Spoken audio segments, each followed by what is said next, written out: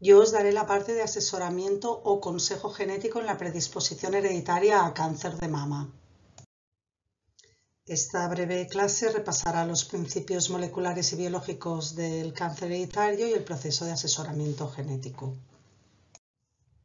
La historia del cáncer hereditario comienza en el año 1866 con una publicación del Dr. Broca de una familia con múltiples casos de cáncer de mama y cáncer gástrico.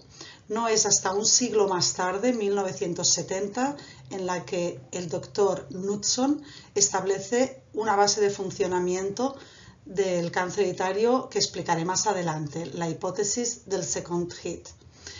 El desarrollo tecnológico de los años 90 eh, permite la primera localización y clonación de los primeros genes del cáncer hereditario, como fueron los genes APC de la poliposis adenomatosa, los genes Lynch y los genes BRCA del síndrome de cáncer de mama y ovario hereditario.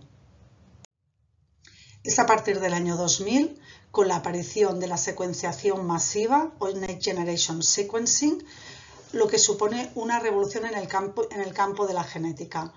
Esta tecnología permite secuenciar el genoma humano en muy poco tiempo y con pocos recursos.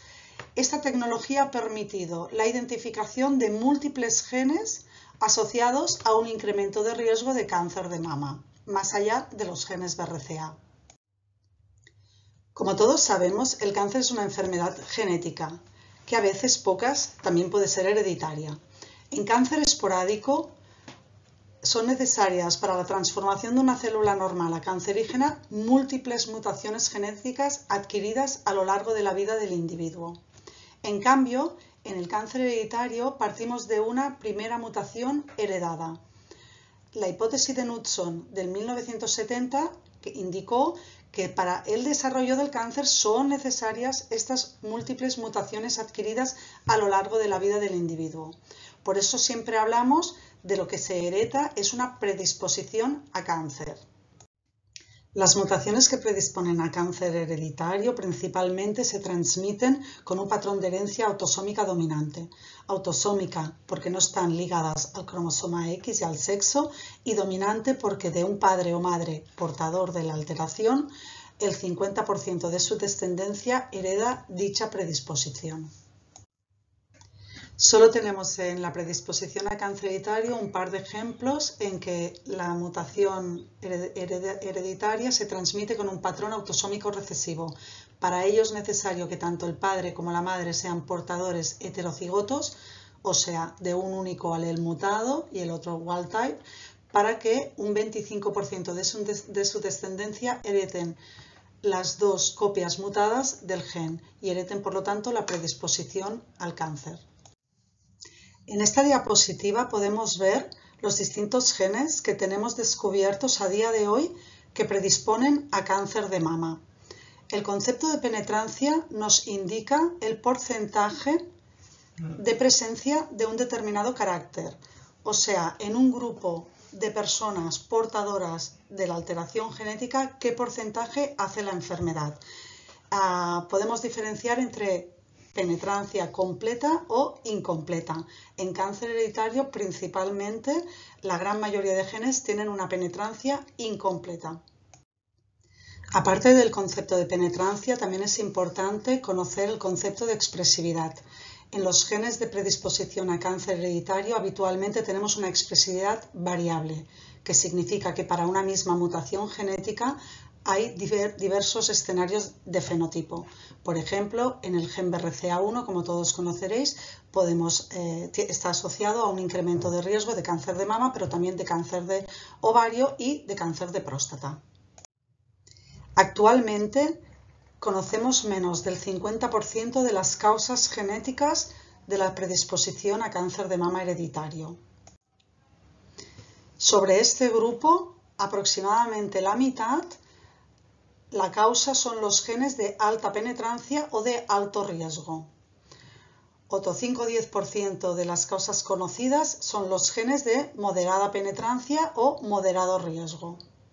Y por último, un 15% de las causas conocidas de cáncer de mama hereditario eh, son los responsables las variantes comunes de riesgo bajo.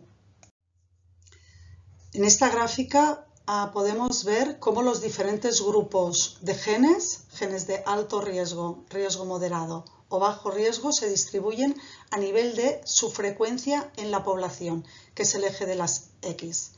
Por lo tanto, podemos ver cómo estas mutaciones de alta probabilidad de desarrollar cáncer son muy infrecuentes en la población, mientras que los genes de riesgo moderado ya tienen una presencia más ah, habitual entre nosotros.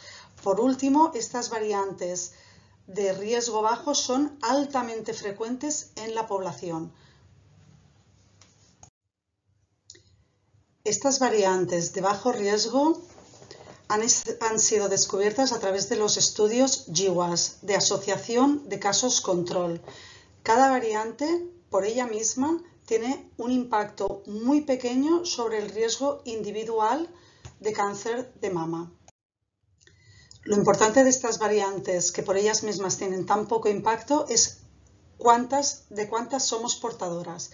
Por lo tanto, a lo largo de esta década se han ido descubriendo cada vez más locus asociados a un pequeño incremento de cáncer de mama hasta finalmente establecer lo que le llamamos el Polygenic Risk Score, este score lo que pretende es clasificar a las personas en un grupo de riesgo en función del número de SNPs o del número de variantes de que es portador. Así el futuro lo tenemos en la integración de los diferentes factores de riesgo. Si el Polygenic Risk Score nos distribuye a la población en una campana de Gauss, ah, actualmente existen modelos matemáticos como el CAN-RISC en los que les introduces tu árbol genealógico con el estudio genético que has obtenido, además de múltiples factores de riesgo asociados al cáncer de mama conocidos como son la edad, el índice de masa corporal, el estilo de vida, las condiciones reproductivas y hormonales, así como la densidad mamaria y biopsias previas de la mama. Finalmente lo que obtendríamos es una población distribuida desde grupos muy bajos de riesgo en los que se podría plantear hacer una mamografía cada cinco años, por ejemplo, a partir de 55 o 60 años, hasta grupos de muy alto riesgo en los que se podría plantear empezar a hacer mamografías y resonancias magnéticas a partir de los 25 años. Entramos en la parte del proceso de asesoramiento genético.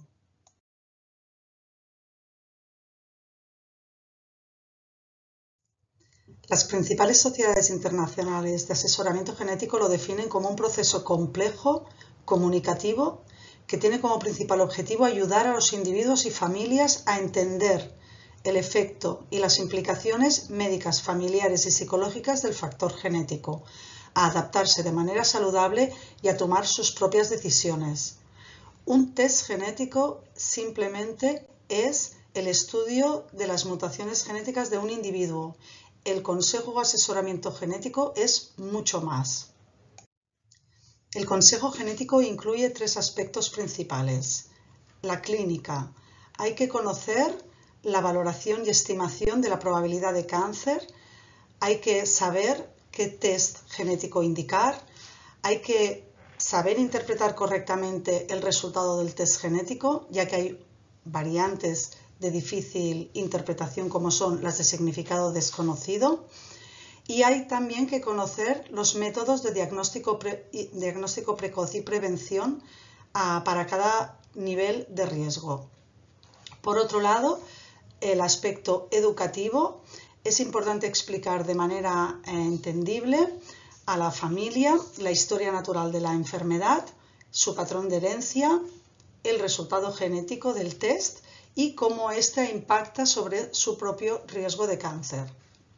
Y también el tercer aspecto, aspecto muy importante del asesoramiento genético es el psicológico, en el que asesoramos para, para promover decisiones informadas y libres, así como acompañamos a la persona y familia para que tengan una buena adaptación a su nueva situación. Pero no todas las familias que reciben asesoramiento genético cumplen los criterios para llevar a cabo un estudio genético.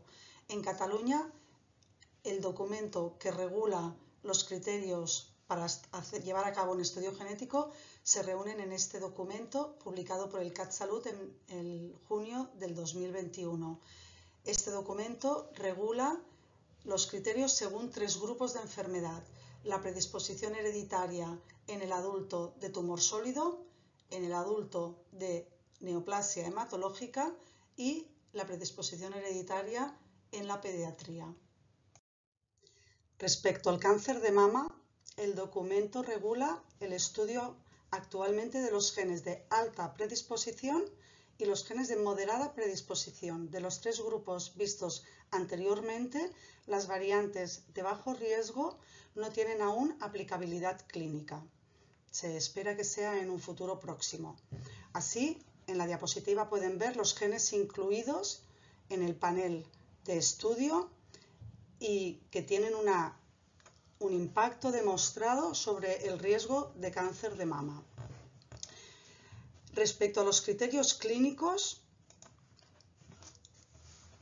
eh, actualmente estudiamos todos los casos de cáncer de mama que están diagnosticados por debajo de los 41 años o de los 51 años en aquellos casos en que no se conoce la familia, como por ejemplo casos de adopción o en que la familia es muy pequeña padres hijos únicos o muy masculina. Por lo tanto, no, no, hay mujeres y por lo tanto no pueden haber otros casos de cáncer de mama. Tenemos en cuenta su estructura. También estudiamos todos los casos de cáncer de mama triples negativos por debajo de 60 años, así como el cáncer de mama masculino en el hombre o las mujeres que tienen un cáncer de mama bilateral siempre y cuando el primer diagnóstico sea por debajo de 50. A partir de aquí, como pueden ver en la diapositiva, estudiamos situaciones familiares, como pueden ser dos casos de cáncer de mama, ambos por debajo de los 50 años, o tres casos de cáncer de mama, siempre y cuando haya un diagnóstico por debajo de 60 años. por otro lado, también estudiamos todos los casos de cáncer de ovario epitelial no mucinoso, sobre todo desde que hubo la aplicabilidad en el tratamiento del cáncer de ovario de los inhibidores de la PARP. No debemos olvidar que el cáncer de mama también está relacionado con el síndrome del cáncer gástrico difuso hereditario y el gen CDH1 principalmente. Por lo tanto, en el documento también está regulado eh, qué genes se estudiarían en el panel de eh, difuso hereditario eh, gástrico y a los criterios. Así, eh, mujeres que tengan cáncer de mama, lobulillar infiltrante y cáncer gástrico difuso, ah, metacrónico o sincrónico, ah, siempre y cuando uno de los diagnósticos sea por debajo de los 70 años, están incluidas. También aquellas mujeres que tienen un cáncer de mama bilateral, lobulillar infiltrante, siempre y cuando uno del diagnóstico sea por debajo de 70 años. Respecto a las familias o ya el, patrón sindrómico familiar, estudiaríamos familias en que hay dos casos de cáncer, uno debe de ser gástrico difuso y el otro mama lobulillar infiltrante, o dos casos, dos mujeres con cáncer de mama lobulillar infiltrante, al menos uno por debajo de los 50 años. En la primera visita de asesoramiento genético construimos el árbol genealógico, que es una de las principales herramientas de trabajo. El árbol genealógico debe incluir un mínimo de tres generaciones y indicar los, para cada caso de cáncer el tipo y la edad al diagnóstico. Hay que prestar atención en aquellas familias en que haya pocas mujeres, ya que podemos ver poco representado el cáncer de mama por la poca existencia de mujeres y nos quedaría mm, escondido un posible riesgo hereditario, como en el árbol de la familia, donde la rama paterna es muy masculina y no es hasta una familiar de cuarto grado en que podemos ver que también tiene un cáncer de mama. Durante la construcción del árbol genealógico también es importante explorar e identificar cuál es la dinámica familiar saber si se hablan entre los hermanos, primos, si tienen una buena relación, si se van a transmitir la información genética en caso que se identifique una mutación, con la finalidad de abarcar al máximo el beneficio que pueden obtener del asesoramiento genético.